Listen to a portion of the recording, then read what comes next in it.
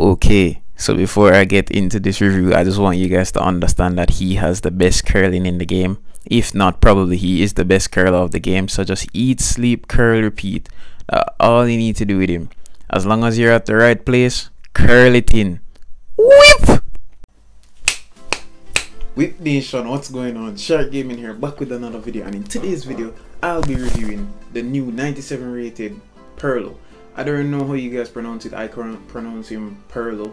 Some people say Pirlo. Yeah. I pronounce him how I want to pronounce him. You guys can tell me how you pronounce him in the comment section below. That's how you know we all differ in different ways, obviously. But yeah, um, thank you guys for helping me to reach 5,000 subscribers. I just reached it, I think, yesterday. So thank you for all of that. I didn't really expect to reach here, especially you know a year ago when they had about 100 subscribers. So that's actually a huge improvement to last year. So I'm forever grateful to all of you guys. And hopefully we can aim for even higher, you know, hopefully next year we'll be at 100,000 subscribers. Maybe that's not too much to ask. But yeah, um, don't forget to, you know, follow me on Instagram, sharc underscore YT. I'm at 190 odd followers, so I'm almost there. I'm gonna start posting on Instagram more often and yeah so just help me on sharc underscore yt and don't forget to join the discord it has 240 members. We're trying to reach at least a thousand members before the year is over. So don't forget to join the discord. And when you join the discord please press access server so that you know you can react to something and you can be able to see all the messages. Don't just go in there and think that there are no messages because people are actually in there talking. But yes enough talking ironically. Without further ado let's get into the review so with Pirlo now, what you guys need to understand that he's a defensive midfielder. With defensive midfielders, most people really expect them to really just intercept with the ball and go forward. I'm going to really just explain to you guys how his uh, physical abilities really work in terms of inter interception, stamina and speed and a little bit more. Firstly, you guys need to know that he's an orchestrator. An orchestrator is actually a player who sits deep and initiates all the attack. So hence why, you know, he has to be very good at winning the ball. Sadly, he's not really that good at winning the ball. As we look here, his stats, if you know, if you look at it properly, he's going to say ball winning is 74, his, def his defensive awareness is 80, and his aggression is 73. So all in all, it's not really that amazing, but he can intercept the ball. He he's a little bit aggressive, you know, so he can do a job. But what I actually recommend for you guys to do is playing beside a player who actually knows how to defend properly.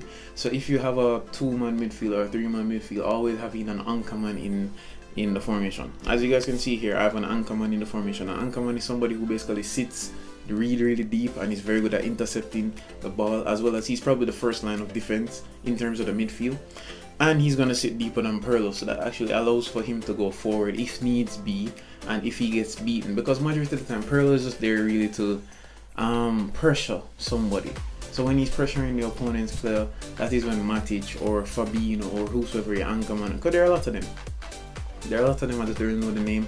Even the other day I got one named S Brown. I think he's right here actually. Yeah, they're actually very good. They're all anchorman. They, they can be used.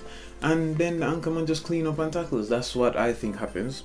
So yeah, um interception, he can intercept the ball really, really well. But as I said, he's there mostly to really just cause pressure, you know, close down space while Matic or the other anchorman just does all the work. With his passing ability, he's very good. He has 99 lofted pass and he has 99 uh, short pass. So at the end of the day, if we look here right here, you, you're going to be seeing it that uh, his passing is actually very amazing. So it doesn't really matter what you want to do and that's why he's perfect for the orchestrator role because more than likely his passes are going to be very accurate. As long as you're aiming in the right direction and you know the player is obviously in some nice space you can do that. And he has the weighted passing the pinpoint crossing. He has a, a lot of different types of passing the through passing trade so at the end of the day you can use him up. You can put one straight through ball through the middle of the field. Not saying a long ball or anything but technically a ground ball is a long ball as well. I'm not telling you guys to constantly spam or whatever but Perlo is actually very good to be used in a counter-attacking formation especially when you need a nice little ball to a winger or a striker up top. Pirlo is the man for you. So as it relates to that now, that's basically what happens. His stamina could be a little bit more, but in the, the day, it's it's in the 80s. That's pretty decent. What you guys can do if you don't have a problem, because if you're using a counter-attacking formation, then obviously he might be a little bit tired by about the 70th to about the 90th minute. So you may just need to put another orchestrator on the bench, maybe Scholes or whatever. Just have another midfielder there just ready, just in case. But moving on to free kicks. I haven't really taken any free kicks with him because I've been busy, but I need to get this review for you guys. So I went to the training ground, did a few free kicks, just a little basics. What you guys need to understand is that you can score free kicks different types of ways with him. You can go over the wall, you can do curlers, and you can do the outside curler. What you guys need to understand is that with all of these, all you have to do is line up the ball with the post, as you guys should see in the videos that I'm showing you. Line it up with the post and just simply curl around and just do the complete opposite for the outside curler.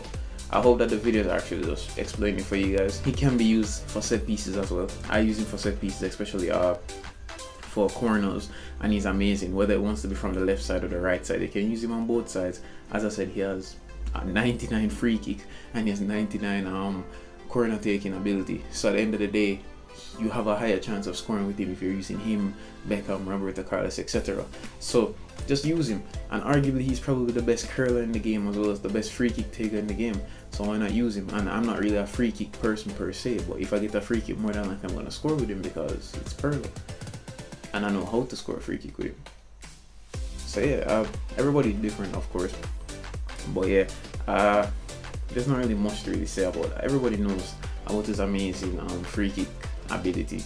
And the best formations to really use him in are just formations that you can add another midfielder to really support him. So as you guys can see on my screen right now, I'm using Hansi Flick. You can use him there. You can use a 4-2-3 flat with him being in the middle or preferably on a side actually. You can have the anchorman in the middle and you can put him over to a side. That way he can drift to the wings and if he goes over to the wings he can always cross the ball properly.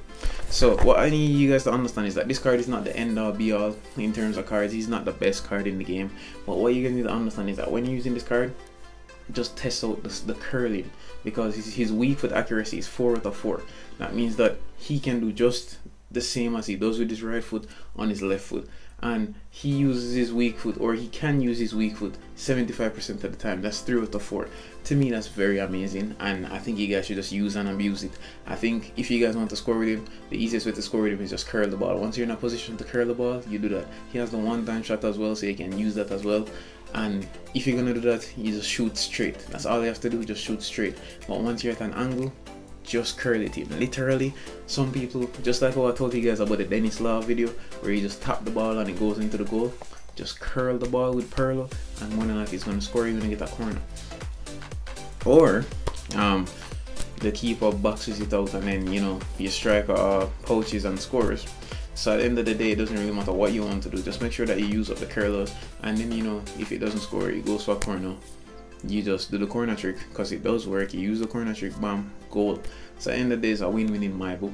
So i really hope that i really explained this card to you guys.